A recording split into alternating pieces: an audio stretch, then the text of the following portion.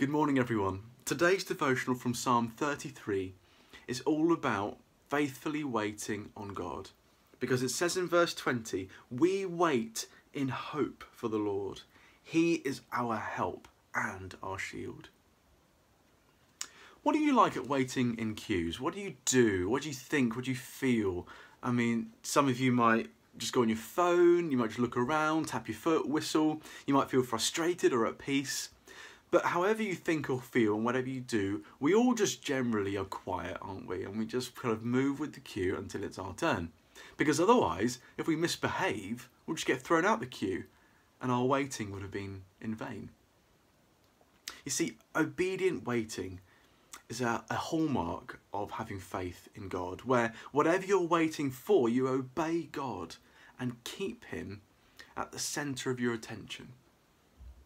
Whereas disobedient waiting is a hallmark of having faith in ourselves, where we have our own self interests at the centre of our thinking.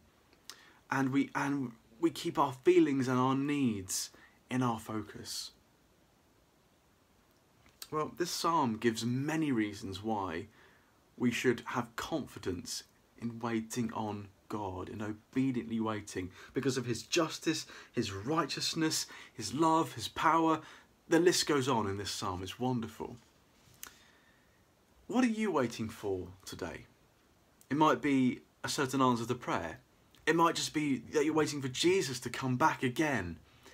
You're waiting on revival or for a change to happen.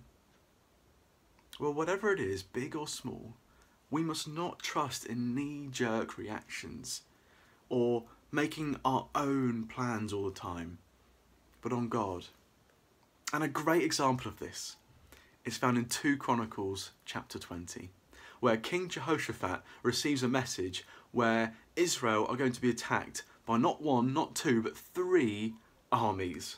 Can you imagine? What's his response? He commands the country to pray and to fast. And they all come together for a time where they do that together. He could have called an emergency meeting, he could have trained up the army, he could have made weapons, he could have got ready, made his own plans, but he chose to wait on the Lord. And if you read that chapter, you'll find out how God amazingly delivers them and rescues them.